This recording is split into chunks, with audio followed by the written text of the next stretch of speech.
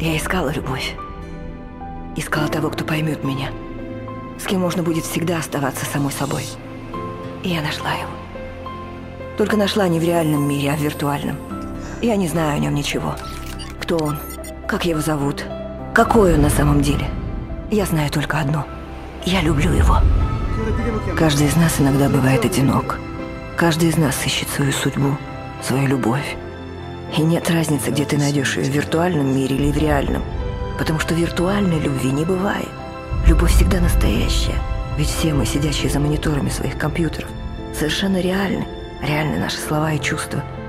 Любовь вырывается из виртуального мира, чтобы стать единственной реальностью для тех, кто любит. Я.